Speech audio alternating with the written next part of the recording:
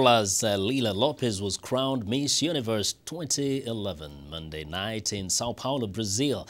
The 25-year-old beauty, uh, or rather beat out 88 other contestants to become the first Angolan to win the coveted title at the beauty pageant's 60th anniversary event. She succeeds the 2010 Miss Universe winner from Mexico, Jimena Navarrete. And uh, that's our show for today. Be sure to watch In Focus on our website at voaafrica.com. And for more news, tune in to VOA's evening radio show, Africa News Tonight at 1600 and 1800 UTC. And in the mornings to Daybreak Africa between 0300 and 0600 UTC, Monday through Friday. Thanks for watching and good night from Washington.